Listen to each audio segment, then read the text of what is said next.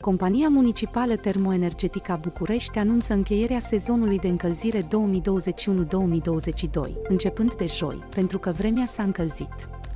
Astfel, începând de joi sunt inițiate procedurile de oprire a furnizării energiei termice pentru încălzire către consumatorii racordați la sistemul centralizat de termoficare, arată un comunicat de presă al companiei, citat de Agerpres.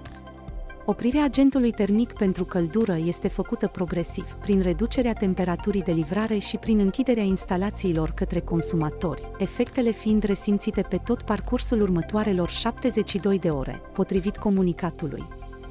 Potrivit regulamentului pentru furnizarea energiei termice, oprirea încălzirii se face după trei zile consecutive în care temperatura medie a aerului exterior depășește 10 grade Celsius, între orele 20,00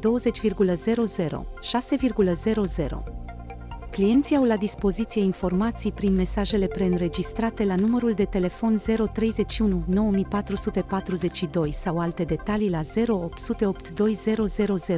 precum și prin aplicația TermoAlert, arată termoenergetica.